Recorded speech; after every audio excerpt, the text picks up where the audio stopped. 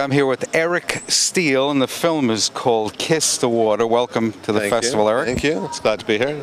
It's a quick drive from my house, so I know you're a local, and I live in. Amagansett. Yeah. So Excellent. With a lot of traffic coming up. um, there was traffic yesterday. I was in the city yesterday, but um, I know the back road, so I can get from Amagansett to here in about. Don't tell anybody that. GPS is a killer. I tell you. No, no, we don't want anyone on Bluff Road. That's the no Well, speeding. th- this documentary, you hear a lot of great things about it. Uh, it's been uh, several other film festivals, but it's uh, we're lucky to have it here at the Hamptons Film Festival. And since you're a local, it's even better. It's doubly delicious, as they say. Can you give uh, our viewers just a thumbnail sketch of, of the movie? And you directed it. I directed it and produced it with a partner. Um, it's um, Kiss the Water is a story about this woman, Megan Boyd, who made really the most magical salmon fishing flies ever. And um, All handcrafted. they're all handcrafted. They're like little miniature works of art. They're about the size of your thumb. And, you know, intricate sort of patterns of feather and fur and tinsel. And the strange thing is, I'm, I'm not a fisherman, and I've never f- fished, and I had never been to Scotland, and I don't even eat salmon. And there was something about her story. It was like an invitation to a fairy tale. And so it's not really a movie about fly fishing. I mean, fishing is like a metaphor, you know, for. Well, indeed, these things are art forms, aren't they? Yeah, and it's and I think it's a vanishing art form too, which uh, makes it sort of more emotional. I mean, the feathers that she used when she was making making these flies aren't available anymore. The birds are mostly extinct or endangered, um, and nowadays people make fishing flies and they like dip their their hooks into super glue and, and attach something like Right. plastic tinsel to it. But back in her day, they were Like made the skill from, of a surgeon to just get yeah, and the, the pieces were so tiny, and there's so many steps, and it was you know a toucan feather bird and a peacock, and and you know all these. I mean, you know, it's like when you think of how many birds are wrapped up into something so tiny, it's like some magical mythical Right. creature. You wouldn't want to put it at the end of a pocket fisherman, for right?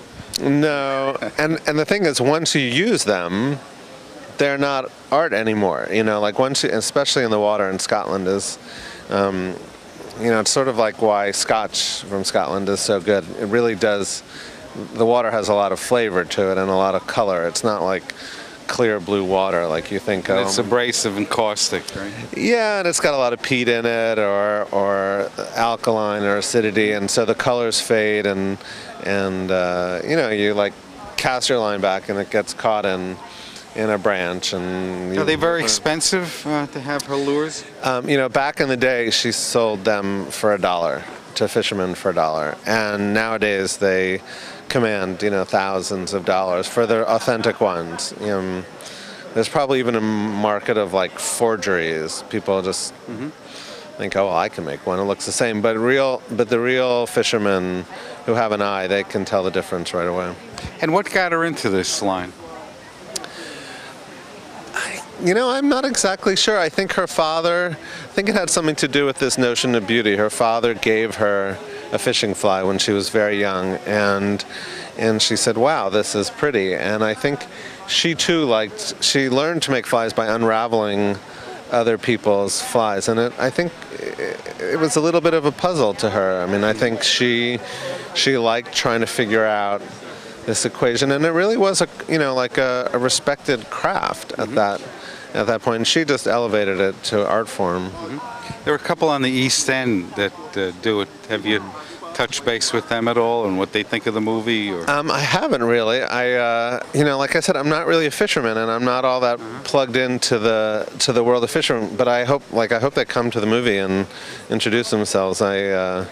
Uh, I don't think they they're probably not salmon fly fishermen out here. They uh, no, they the probably- surf casters. Yeah, the, I mean, I you know, I I see the people fishing all the time. I mean, if I go to Montauk or go to Louse Point, you see people out there fishing, but it's. Well, there's a brotherhood or sisterhood among all fishermen, and uh, I hope so. it's terrific. I terrific. hope they all come to see the movie. well, they will. Now, do you have a distributor?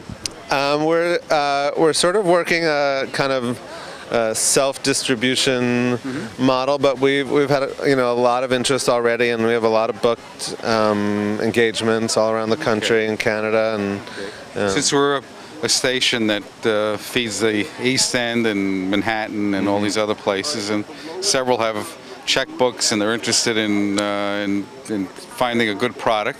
If they want to get in touch with you, what's the website? Um, www.kiss-the-water.com.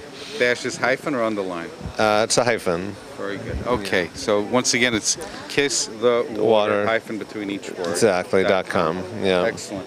And uh, very pleased to have you here. Thank it's you. terrific. It's, You're a uh, local guy. And what's your next project? What are you working on next? Um, I'm actually working on a on a film about the painter Willem de Kooning. So, but it's uh, sort of in the early stages, and I'm kind of a slow. I take my time and try to do it right. Well, there's a there's an awful lot of uh, if you shake the trees, there's de Kooning stories of uh, there are of how he would just uh, get a uh, hand out hand uh, out multi-million drawings for for a drink. So, Yeah, it's terrific. yeah. Excellent. Thank you very Absolutely. much. Thank you. And again, the movie is Kiss the Water. This is Eric Steel, the director, and uh, go see it. We highly recommend it. Thank you.